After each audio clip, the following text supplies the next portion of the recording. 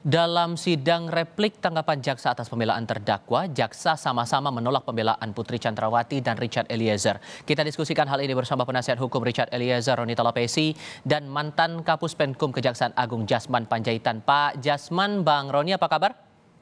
Ya, baik, Pak. Baik, kabar baik. Terima kasih sudah bergabung bersama kami. Uh, kayaknya nih masih agak mengganjal ya Bang Roni dengan ditolaknya uh, pledoi Anda, terutama dengan alasan yang paling berat di situ di mata jaksa adalah posisi Richard Eliezer sebagai eksekutor langsung yang menghilangkan nyawa Yosua. Komentar? Iya, catatan kami adalah terkait dengan replik oleh jaksa penuntut umum, kita melihat ada beberapa catatan ya. Pertama, catatan yang kami melihat bahwa dari pledoi hampir keseluruhan ketika kita bicara tentang teori hukum, tidak semuanya dibantah oleh jaksa penuntut umum. Hmm. Jadi ada beberapa catatan terkait dengan alat yang di mana ahli dari jaksa penuntut umum, ahli pidana yang menjelaskan alat tidak bisa diminta pertanggungjawaban kalau tadi saya lihat di replik tadi tidak dijabarkan atau tidak disampaikan. Kemudian terkait dengan kalau yang tadi disampaikan uh, perintah di mana disampaikan oleh jaksa penuntut umum itu adalah loyalitas Hmm. bentuk loyalitas dari Richard Eliezer. Nah, kalau catatan kami, kalau loyalitas itu kami sudah cek di kamus uh, kamus uh, bahasa Indonesia, loyalitas artinya kepatuhan. Nah, ini menggambarkan dengan sikap Richard Eliezer ya, bahwa dia dilatih oleh di waktu kosek waktu itu sebagai brimob, kemudian dalam fakta persidangan dia tidak bisa mengelola atau menganalisa perintah itu sudah terungkap di persidangan. Kemudian catatan kami yang berikutnya terkait dengan uh, yang tadi disampaikan oleh uh, jaksa penuntut umum bahwa hakim tidak terikat terhadap ahli. Hmm. Tapi kalau kita lihat di replik terdakwa yang lainnya, jaksa menggunakan ahli untuk menjadi rujukan. Jadi ini ada sedikit uh, perbedaan ya. Tetapi dari catatan ini kami hormati, kami hargai. Uh, nanti kita akan uh, jawab nanti di duplik nantinya. Oke. Okay. Seperti itu. Uh, Pak Jasman melihat ini uh, di sidang hari ini tidak cuma uh, pledoinya Richard yang ditolak, tapi pledoinya Putri Chandrawati juga ditolak oleh jaksa. Anda merasa bahwa pilihan itu sudah tepat oleh jaksa menolak keduanya? Jadi begini, kalau menurut saya apa yang disampaikan oleh jaksa penuntut umum ya, penuntut umum hari ini itu memang kelazimannya demikian. Hmm. Bahwa jaksa itu selalu akan mempertahankan apa yang disampaikannya pada saat tuntutan.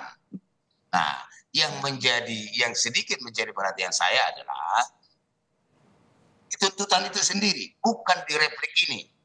Kalau di tuntutan itu, andai kata ada keberanian daripada jaksa untuk melakukan tuntutan itu lebih ya jangan sampai 12 itu apalagi di bawah PC itu jadi akar permasalahannya bukan masalah uh, di replik atau 12 tahun. Tapi kenapa itu lebih tinggi dia dari yang lain. Jadi intinya Anda mau mengatakan bahwa untuk replik oke okay, sudah tegas posisinya tapi masalah tuntutan seperti yang pernah Anda bilang kepada pemimpin redaksi kami melempem begitu?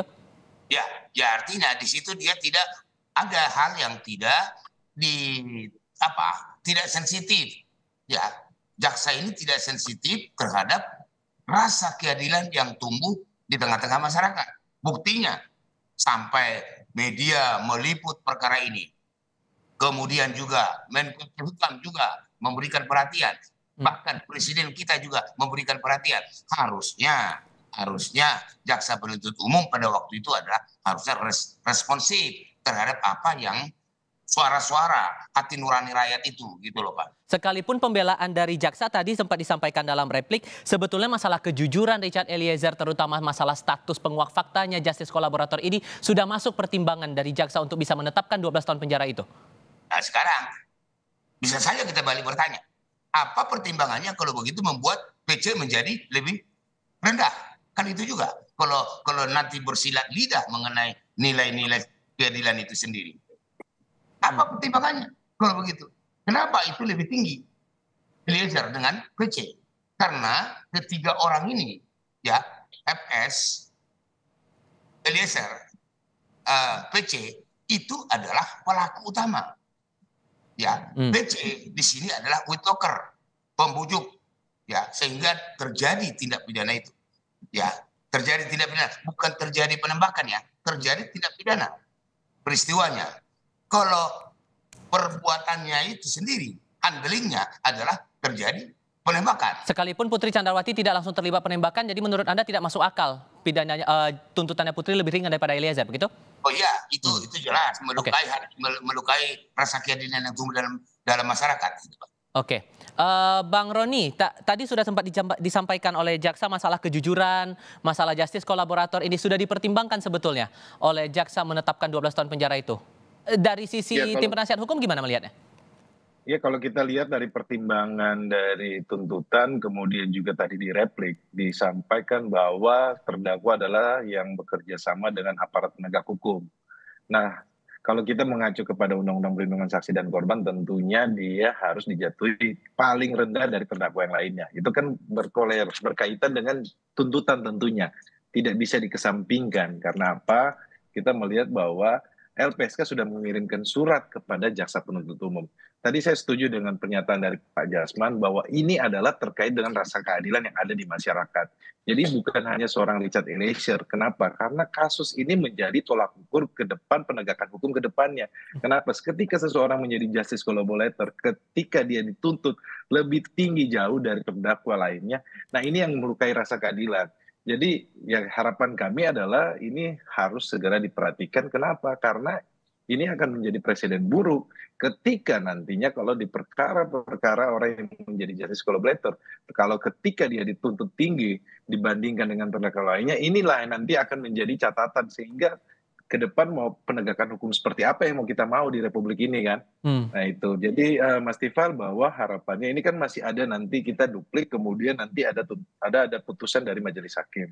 Kami berharap bahwa putusan majelis hakim kami sudah sangat percaya bahwa proses ini sudah berjalan baik lancar oleh majelis hakim kita diberikan ruang hak-hak dari klien kami ketika menjadi terdakwa dia sudah seperti uh, sudah haknya seperti seorang justice collaborator. Dilihat hmm. dari mana? Ketika pemeriksaannya dia dia dipisah secara daring. Kedua, dia uh, penahanannya tidak bersamaan. Kemudian waktu pemeriksaan dia yang paling terakhir. Nah ini juga sebenarnya kita lihat bahwa jaksa penuntut umum yang ada di persidangan sudah memperlakukan hmm. hal-hal seperti itu. Tetapi ya ini yang terkait dengan yang menjadi polemik adalah terkait dengan tuntutan kok bisa lebih tinggi daripada terdakwa hmm. yang lainnya pada 340 dan 55 bersama-sama gitu loh turut sertanya. Jadi ya itulah yang menjadi apa catatan ya bahwa uh, penegakan hukum seperti apa yang mau kita mau ke depannya kalau seandainya seperti ini. Seperti itu Mas Tifal. Oke, uh, terkait dengan uh, pembuktian dari pihak Putri Chandrawati sendiri nih Pak Jasman, Anda melihatnya sudah cukup atau masih ada yang kurang nih sebetulnya? Jadi, Pak Jasman. Uh, uh, ada sebenarnya yang harus digali. Ada yang harus digali di dalam persidangan. Menurut Put, menurut PC, dia bilang bahwa dia melapor kepada suaminya karena dia telah diperkosa kan hmm. itu.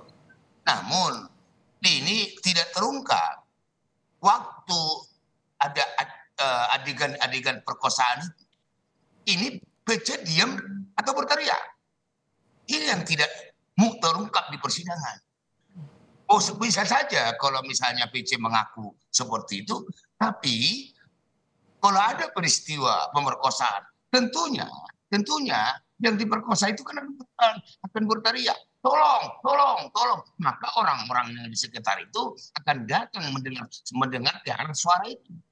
Itu yang tidak terungkap di persidangan. Nah, dalih dari tim penasihat hukumnya Putri Chandrawati tadi setelah sidang adalah ya masalah pembuktian inilah itu jadi PR jaksa seharusnya itu yang kemudian dijadikan dasar juga oleh tim penasihat uh, terdakwa Putri Chandrawati ini bahwa ya itu tugasnya dari jaksa untuk membuktikan bahwa ada di situ pemerkosaan, ada di situ pelecehan seksual di situ. Dan menurut Anda bahwa upaya pembuktian dari jaksa atas motif itu tidak cukup atau gimana sebetulnya?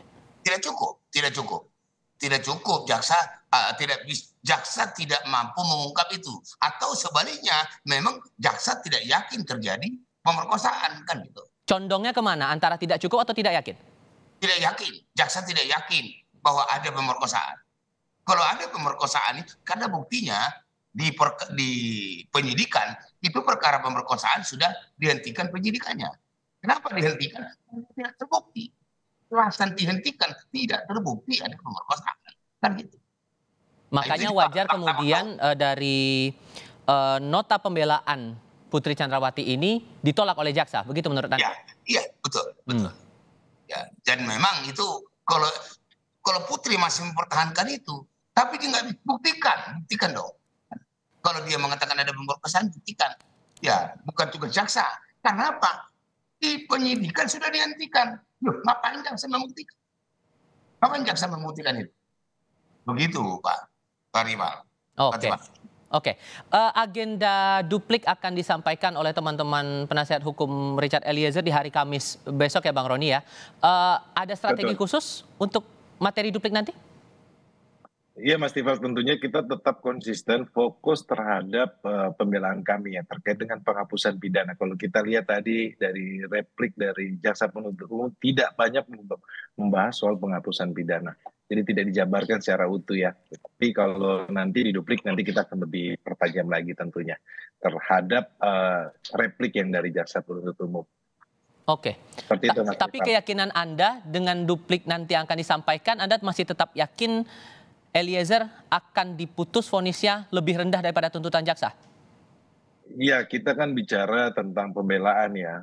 Se- terkait dengan vonis tanpa mendahului dari majelis hakim, tentunya nanti kita serahkan kepada majelis hakim. Pastinya kan kita berharap seadil-adilnya. Hmm. Kalau kita dari tim penasihat hukum kan penghapusan pidana sudah jelas terkait dengan perintah jabatan dan pasal 48 terkait sikap batin itu sudah kita jabarkan di pledoi ya. Baik. Tetapi sekali lagi Mas Tifal, ini tidak kita tidak mau mendahului majelis hakim ya. Kita mempercayai bahwa proses perjalanan sidang yang sudah cukup memakan waktu Hmm. ini, hakim sudah mengetahui secara keseluruhan fakta maupun ahli yang sudah dihadirkan bukti-bukti. Jadi semuanya kita serahkanlah, kita percayalah kepada majelis yang mulia hakim. Setidaknya proses sidang sudah masuk dalam tahap akhir. Bang Roni Talapesi, terima kasih.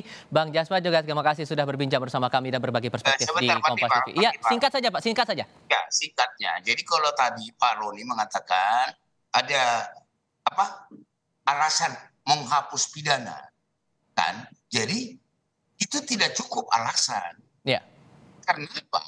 Karena do Eliezer Mhm. bukan do- bukan dalam pasal 55 ayat 1 kedua doen plege. Baik, Bukan. Karena apa? Orang bisa menembak itu Baik. tidak dihukum apabila dihukum perang dan Baik. eksekusi hukuman mati. baik. Kalau ini kan tidak. Gitu Baik. tambahan saya, Pak. Kami sudah menangkap maksud Anda. Pak Jasman, terima kasih sekali lagi sudah berbincang bersama kami kali ini. Bang Roni juga terima kasih sudah berbincang Ya, di Kompas TV hari ini. Sehat selalu untuk Anda Terima berdua. Terima kasih.